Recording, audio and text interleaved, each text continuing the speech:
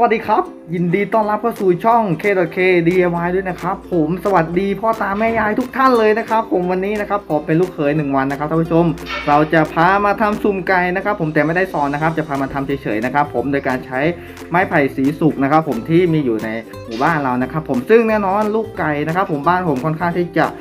ฟักตัวเยอะนะครับ ผมก็เลยจะทำสุ่มไก่นะครับผมไปขังไก่นะครับนั่นเองนะครับ ผมวันนี้จะทำสุ่มไก่ลายสามนะครับผมซึ่งจะมี ความสวยงามแล้วก็แข็งแรงสามารถขึ้นขยมได้นะครับผมโอเคจะเป็นยังไงนั้น ไปดูกันเลยครับ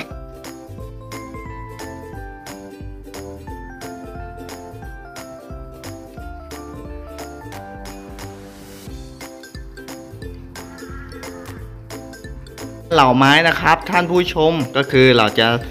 เหล่าไม้นะฮะให้เป็นแบบนี้นะครับผมเส้นเล็กๆนะครับผมวันนี้จะพามาทำซุ่มไก่ลายสามนั่นเองนะครับผมพ่อตาแม่ยายนะครับผมดูไว้นะครับผมวันนี้ผมจะพามาทำดูนะครับแต่ไม่ได้สอนนะผมก็คือจะทำให้ดูนะครับผมว่าจะเป็นยังไงนะครับผมวันนี้ผมจะทำเพื่อที่จะมาขังลูกไก่ของผมเองนะครับผมโอเคไปดูกันเลยครับไม่ได้นะครับผมในการทำสุ่มไก่นะครับผมก็คือนี่วงหัวสุ่มนะครับผมตัวนี้ก็คือใช้ความกว้างไม่มากนะครับ แบบนี้นะครับผมท่านผู้ชม นี่นะครับผมก็เราจะใช้นะครับผมสุ่มกลายสามนะครับผมให้เราใช้นะครับผมตอกทีละ 3 เส้นนะครับผมโอเคเดี๋ยวไปดูวิธีการใส่กันเลยครับไอ้ลายสามนะครับผมเราก็จะจับเส้นตอกนะครับผมแบบนี้นะครับผมเสียบเข้าไปเลยนะครับผมเสียบเข้าไปเลยนะฮะแล้วก็ให้ปลายสองด้านนะครับผมเท่าๆกันนะครับ เหมือนกับการทำสุ่มไก่ทั่วไปเลยนะครับผมนี่ได้แล้วนะครับ ผมหนึ่งคู่นะครับ ผมจากนั้นเอามาอีกคู่นึงนะครับ ผมใส่ให้รอบเลยนะครับ ผม แบบนี้นะครับท่านผู้ชมเสียบเข้าไปเลยฮะใส่ไปก่อนนะครับ เดี๋ยวค่อยมาจัดทรงอีกทีนึงนะครับ ผม โอเคสองคู่แล้วนะฮะ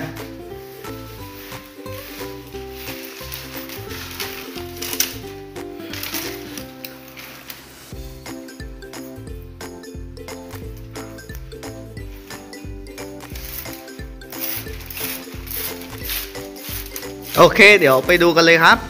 โอเคนะครับผมเมื่อเราใส่ไปแล้วนะครับ ผมจากนั้นก็ให้เราถักนะครับ ผมจากล่างขึ้นบนนะครับ ผมเยียบไว้นะครับ แล้วก็ใส่ถุงมือด้วยนะครับ ผมกันเสียนไผ่นะครับ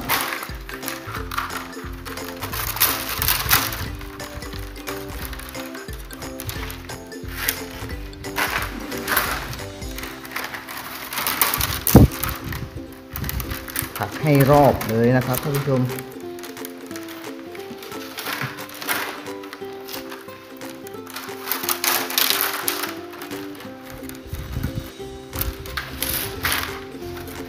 สุ่มไก่ลายนะครับ ผมมักจะมีราคาแพงนะครับท่านผู้ชมช่างที่เขาแบบจัดสารนะครับ ผม อันหนึ่งนี่ก็ประมาณห้าร้อยหกร้อยนะครับ ผมสูงสุดเป็นพันนะครับ ประมาณพันสองถึงพันแปดได้นะครับ ผมขึ้นอยู่กับรายละเอียดนะครับ ผม แต่อันนี้ผมจะทำใช้เองนะครับท่านผู้ชม โอเค ประมาณนี้นะครับ มาดูนะครับ พอตาแม่ยายนะฮะวันนี้ผมจะทำหาไก่นะครับ ผมก็คือว่า เดี๋ยวนี้นะครับผมปีนี้ไก่บ้านผมนะครับ ผมลูกโคตรดกเลยครับ ก็เลยจะมาทำนะครับ ผมซึ่งแบบนี้มันจะแข็งแรงกว่าแบบธรรมดาครับ แบบธรรมดานี่มีโอกาสที่แบบเวลาแบบเวลาผ่านไปนานๆนะครับ ผมมันจะทำให้ตอกที่เราสานนะครับ ผม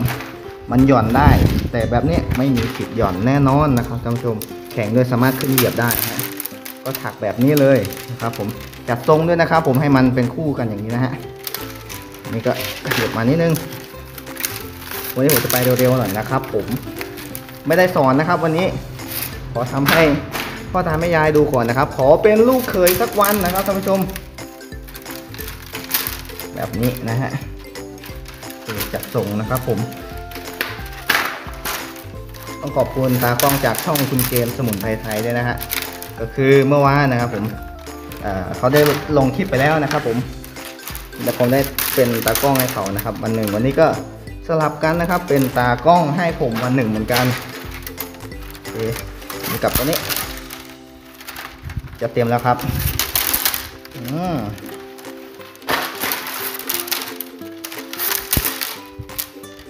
ประมาณนี้นะครับ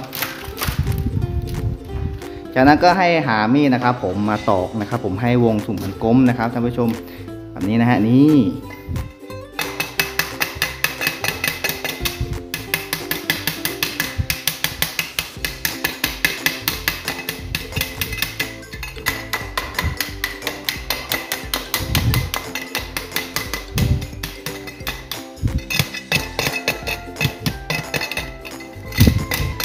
เคไปดูขั้นตอนต่อไปกันเลยครับ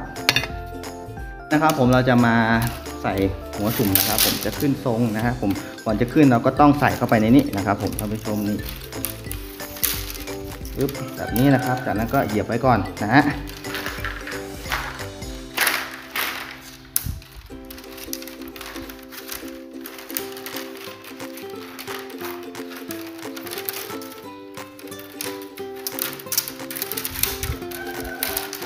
ใส่ให้รอบเลยนะครับผมโอเคไปดูกันเลยครับครับผมขั้นตอนต่อไปก็คือการถักนะครับ ผมนี่นะครับมันจะอยู่อย่างนี้นะครับเอาอันนี้เข้าไปนี่เลยนี่สองนะครับอันนี้เลยนะฮะก็แยกมานะครับ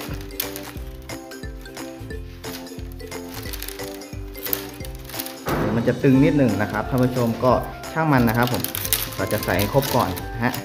อันนี้เลย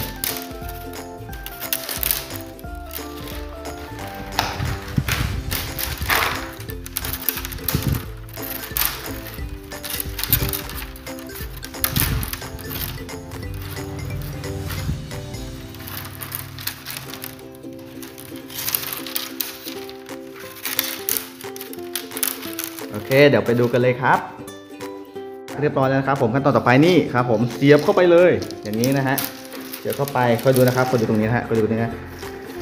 โอ้สุดยอด แล้วก็ดึงมาอย่างนี้นะครับ ผมท่านผู้ชมนี่ประมาณนี้นะครับ นี่นะครับ ผมเดี๋ยวเราจะใส่ให้รอบเหมือนกันนะครับท่านผู้ชม แบบนี้เลย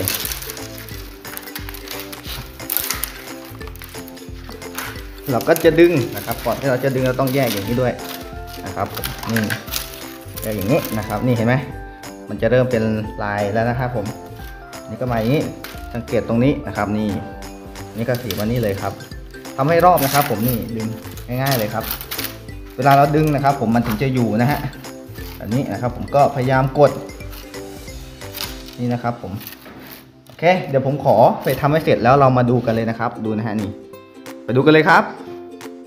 เมื่อได้แบบนี้แล้วนะครับ ผมเราจะมาถักจากล่างขึ้นบนนะครับ ผมดูนะฮะนี่ วิธีการถักนะครับ ผมคุณเห็นนี่หรือเปล่า คุณเห็นนี่หรือเปล่าท่านผู้ชมนี่ นี่เลยนี่เห็นไหมเราก็ถักแบบนี้นะครับ นี่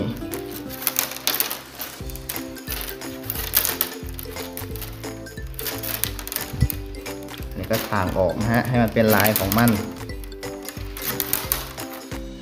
นี่เลย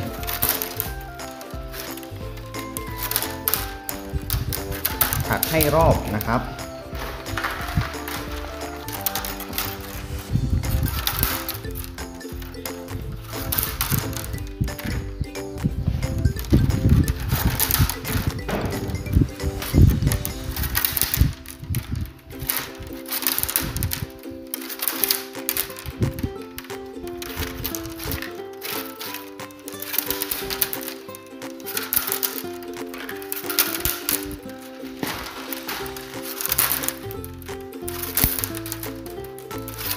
มแบบเนี้ยสามารถขึ้นไปขย่มได้เลยนะครับ ผมขย่มแบบดาวสุ่มนะครับ ผมได้ฮะมันแข็งแรงขนาดนั้นนะครับ ผมผมเคยทำมาเนี่ยเหยียบได้เอ่อขึ้นไปขย่มได้สองคนเลยนะฮะไม่หักนะครับท่านผู้ชมมันแข็งแรงมากนะฮะ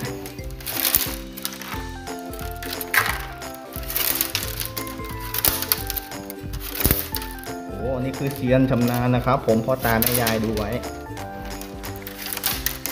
ท่านไหนที่กำลังรับสมัครลูกเขยหนึ่งอัตราก็ ติดต่อมาได้นะครับ หยอกหยอกหยอกโอเค จะใส่ให้รอบเลยนะครับ นี่ อันนี้ก็ถ้ามันใกล้กันอย่างนี้เราก็เฉียงออกมาอย่างนี้นะครับ ผมให้มันอิสระที่สุดนะครับ ผมอย่าไปติดกันเกินนะฮะกดแล้เลยไปนะครับผม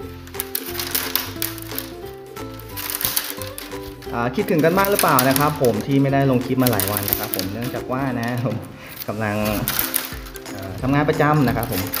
แต่ก็จะพยายามมาลงคลิปให้ทุกท่านได้ดูนะครับ ผมคลิปนี้ก็อาจจะหายคิดถึงนะครับ ผมสำหรับใครที่ชอบในการจักสานไม้ไผ่นะครับ ผมก็สามารถเข้ามาดูได้นะครับผมส่วนน้องๆนะครับ ผมที่เข้ามาติดตามนะฮะเกมเมอร์นะครับ ผมอย่าลืมนะครับ ผมผมก็จะลงให้ดูเหมือนกันนะครับ ผมอย่าน้อยกันนะครับ โอเคนี่ดู ผมได้ทำการถักเป็นที่เรียบร้อยแล้วนะครับ ผมต่อไปนะครับผมได้เวลาขึ้นทรงสุ่มแล้วนะครับ ผมโอเคไปดูกันเลยครับที่การขึ้นทรงสุ่มนี้นะครับผมก็นี่ครับหงายท้องขึ้นนะครับ ผมแล้วก็ใส่เข้าไปตามร่องนะครับ ผมโอเคเดี๋ยวผมจะใส่ตามร่องอย่างนี้นะฮะจากนั้นนะครับผมก็ทำการรัดนะครับ ผมตัวนี้มันจะลอยนะครับ ผมจะเห็นว่ามันลอยนะครับ ผมนี่แหละครับ ผมตรงนี้ก็พยายามจับให้เท่า ๆกันนะครับ ผม นี่ ก็ใส่ให้รอบเลยครับ ตัวนี้ใช้เป็นไม้ไผ่สีสุกนะครับผมทุกคนที่เข้ามาดูก็จะจะถามผมนะว่าใช้ไม้ไผ่อะไรนะ ใช้เป็นไม้ไผ่สีสุกนะครับท่านผู้ชมหรือว่าจะใช้เป็นไม้ไผ่ซางหมุนก็ได้นะครับผม แต่ไม้ไผ่รอกออแบบนี้ไม่นิยมนะครับ ผมไม่แนะนำนะเพราะว่ามันแข็งเกินไปแล้วก็เหลายากนะครับผมถ้าทำแบบของแบบจากสารเล็ก ๆ น้อยๆก็สามารถทำได้นะฮะมันผมจะแนะนำมากกว่านะครับผมส่วนการจะทำสุ่มไก่นะครับ ผมใช้เป็นไม้ไผ่สีสุกดีกว่านะครับ ผมเนื่องจากว่ามันลำใหญ่แล้วก็ได้เยอะนะครับนี่ผมพูดมากไหมเพราะไม่ได้ไม่ได้ทำคลิปให้ท่านผู้ชมดูนะครับ ผมก็เลยพูดมากนิดนึงนะครับ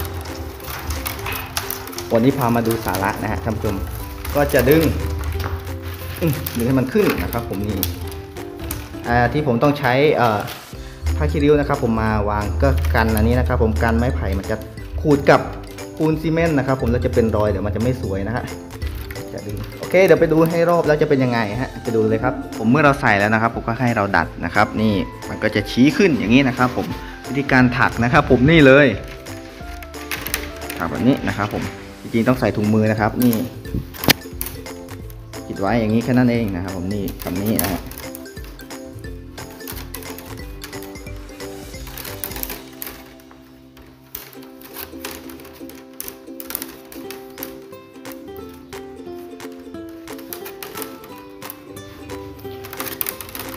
วันนี้ลมแรงมากเลยครับท่านผู้ชม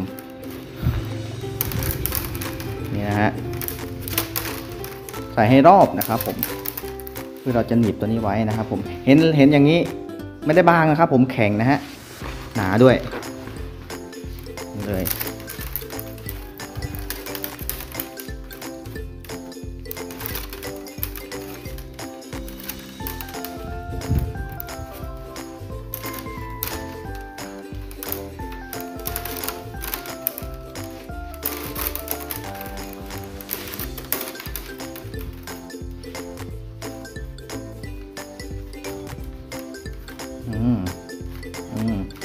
รอบเลยนะครับ ผม จะเป็นแบบนี้นะครับ ผม โอเค เดี๋ยวไปดูเลยครับ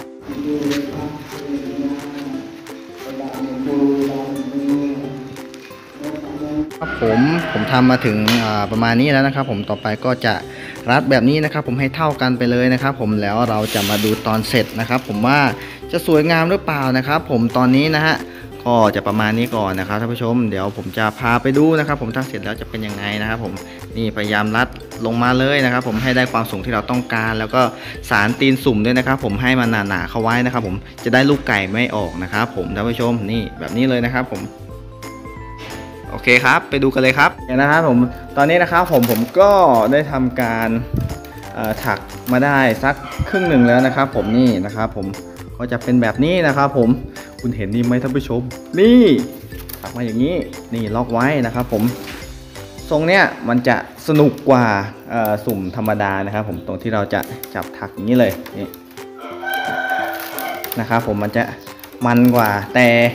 มันจะยากตรงที่เราจะต้องรัดนี้นะครับ ผมให้เท่ากันนะครับ ผมตั้งแต่หัวจนจุด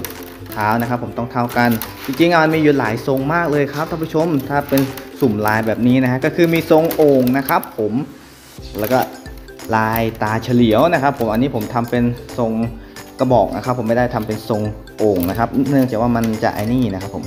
โอเคเนี่ยเราก็ค่อย ๆ กดอย่างนี้นะครับให้เท่ากันนะครับผมนี่ฮะโอเคก็จะประมาณนี้นะครับ ผมเดี๋ยวไปดูนะครับผมออมเสร็จแล้วมันจะเป็นยังไงนะฮะ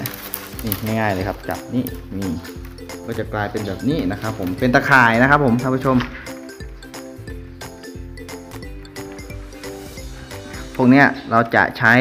เจ้าตัวลวดนะครับ ผมก่อสร้างครับมารัดมารัดตายไว้เลยนะครับ ผมโอเคไปดูกันเลยครับนะครับผมพ่อตาแม่ยายนะครับ ผมตอนนี้ผมทำเกือบเสร็จแล้วนะครับ ผมก็คือเหลือใส่ตีนสุ่มนะครับผมนี่ดูเลยนะฮะค่อนข้างที่จะละเอียดนะครับผมผมทำมาตั้งแต่เช้านะครับ ผมยันเย็นตอนนี้ก็ประมาณ 4ี่โมงจะ5้าโมงแล้วนะครับผมก็คือว่าสุ่มแบบนี้มันจะทำนานกว่าลายธรรมดาเยอะเลยครับผมนี่มันต้องดัดให้ได้ทรงนะครับผมถึงว่าทำไมเขาถึงขายแพงนะครับท่านผู้ชมเพราะว่ามันละเอียดแล้วก็นานนะครับผมเดี๋ยวเสร็จนะครับผมผมจะขึ้นขยมให้ดูเลยนะครับ ผมว่าจะแข็งแรงตามที่โม้ไว้หรือเปล่านะฮะท่านผู้ชมโอเค วันนี้ดูนะฮะนี่แบบนี้นะครับ ค่อนข้างที่จะละเอียดเลยนะครับ ผมตัวนี้ก็คือทำขังไก่นะครับ ผมจะทำตีนสุ่มค่อนข้างที่จะ หนาๆ ใหญ่ๆ สูงๆ นะครับผมท่านผู้ชมเพื่อที่แบบลูกไก่จะออกไม่ได้นะนี่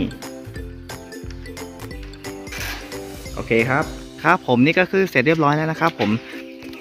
โอเคอันนั้นอีกอันหนึ่งนะครับ ฝั่งนู้นก็คือยังไม่เสร็จนะฮะอันนี้เสร็จแล้วนะครับ ผมก็จะประมาณนี้นะครับ นี่ค่อนข้างที่จะ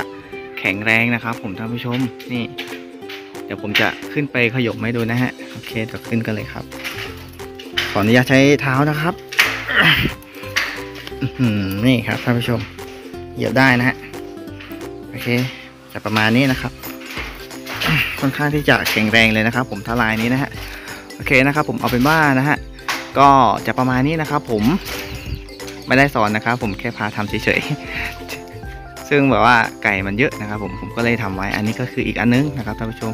นี่ยังไม่เสร็จดูยังไม่ได้ตัดตีนเลยนะนี่ เคนะครับผม แล้วเจอกันใหม่คลิปหน้าครับแล้วก็เป็นยังไงกันบ้างนะครับ ผมสำหรับการทำสุ่มไก่วันนี้นะครับ ผมพาทำเฉยๆนะครับ ผมเอาเป็นว่าใครที่ชื่นชอบคลิปนี้นะครับอย่าลืมกดไลค์กด subscribe กดแชร์กดติดตาม เพื่อเป็นกำลังใจให้ช่องของ K.K DIY ด้วยนะครับ ผมคลิปหน้านะครับ ผมจะเป็นอะไรอย่าลืมมาติดตามด้วยนะครับ ผมจะได้ไม่พลาดคลิปใหม่ๆฮะสำหรับคลิปนี้นะครับ ผมต้องขอลาไปก่อนนะครับ เจอกันใหม่คลิปหน้า สวัสดีครับ